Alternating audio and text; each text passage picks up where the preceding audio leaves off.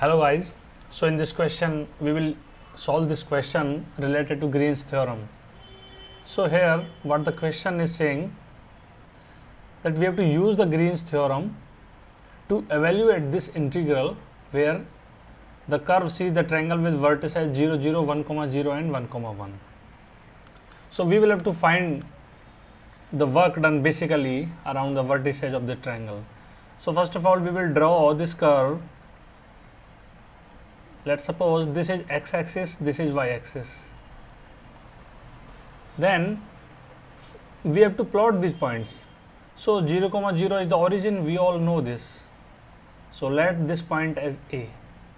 1 comma 0 let's suppose this point is on x axis as 1 comma 0 so this point will be b and this point will be 1 comma 1 so if we will join these lines this will become a right angle triangle. So this is the path represented by the arrows and this whole area under this triangle is let's assume it as D and this point is C. So first we will write the Green's theorem here like Green's theorem. So what is it states that m dx plus n dy along a curve is equal to del n by del x minus del m divided by del y. And we have to find the double integral along the shaded region D. So first if we will compare this m dx plus n dy by y cube dx plus x cube dy then we can easily find out the value of m as y cube then we will differentiate m with respect to y so it will become 3y square if we will compare this result with the statement given in the question then n is equal to x cube plus 3 xy square. Then if we will find del n divided by del x is equal to this will be 3x square and this will be 3y square. Now from the both if we will subtract del n divided by del x minus del m divided by del y then this 3y square will be cancelled. So we can write it here 3x square plus 3y square minus 3y square. So this whole term will be cancelled. So it will be equal to 3x square. Now to solve the above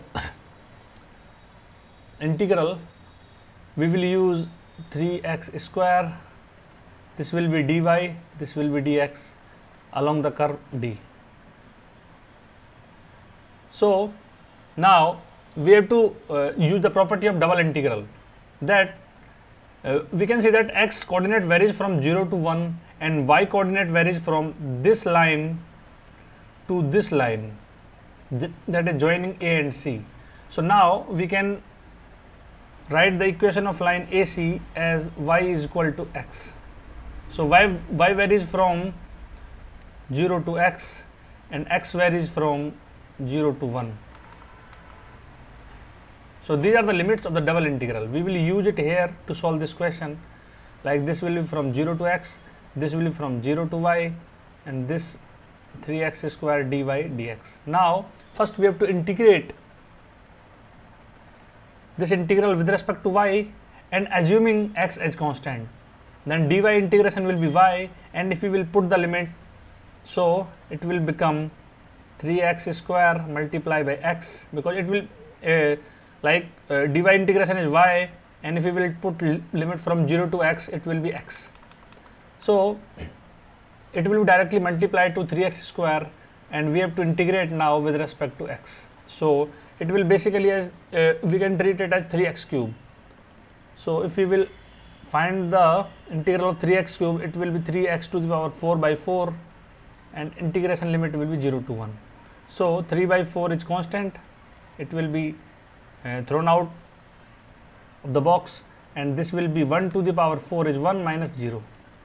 So basically the value of Green's theorem, value of this integral by Green's theorem is 3 by 4 and here the answer is also given so our answer is verified. So we can write this as answer. We can also solve it by using parametric coordinate directly by using this LHS but here we have to use the Green's theorem because it is asked in the question and if you would like to ask any more type these type of questions from calculus like algebra like trigonometry or any other science related subject then please do mention your doubts in comment box or visit our website. Thank you very much